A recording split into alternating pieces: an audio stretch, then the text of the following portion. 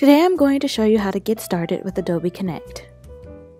15 minutes before your meeting, go to graziadio.adobeconnect.com. Log in with your Pepperdine email and the password provided by the eLearning Setup email.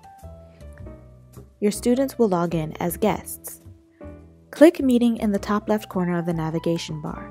Choose Audio Wizard Setup, go through the test process, then click Finish. Have any documents or files you want to share ready and easy to access. Place the files on your desktop or have the documents open and minimized. Have any websites you want to show open on other browser tabs.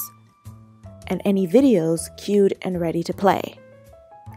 Add, remove, or rearrange your meeting room pods. Click Audio in the top navigation bar, select microphone rights for your participants, and click on the drop down arrow next to the webcam button to choose Enable Webcam for Participants if you want to allow video chat. You should now be able to start your meeting.